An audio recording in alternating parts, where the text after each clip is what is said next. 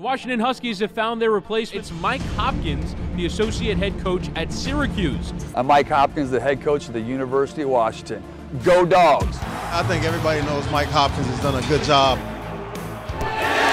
The second one is That'll good be as your well. ball game, ladies and gentlemen. Washington pretty much dominated. Congratulations on a great win tonight. Can I get a hug? Suddenly, here he comes.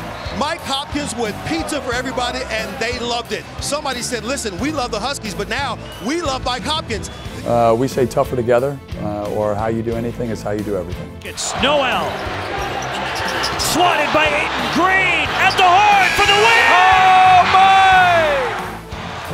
home win for the Huskies against a top 10 team since February 10, 2008. Go Dogs! Can we get that W in there? Nope, cannot do that. Let's go. My fingers can't match. Yeah! Go Dogs!